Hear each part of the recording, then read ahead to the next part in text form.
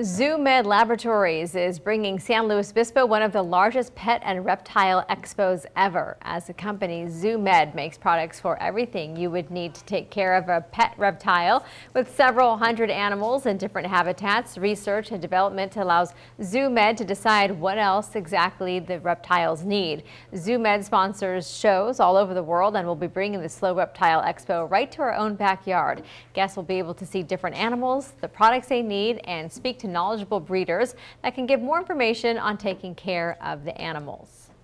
It's a great place to get into reptiles um, because often people hear reptile and they instantly think snake.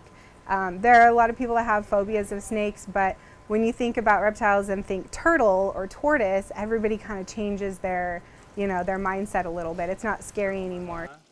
The SLO Reptile Expo will take place at the Alex X Alex Madonna Expo Center Saturday, March 14th from 10 a.m. to 5 p.m. and Sunday, March 15th from 10 a.m. to 4 p.m.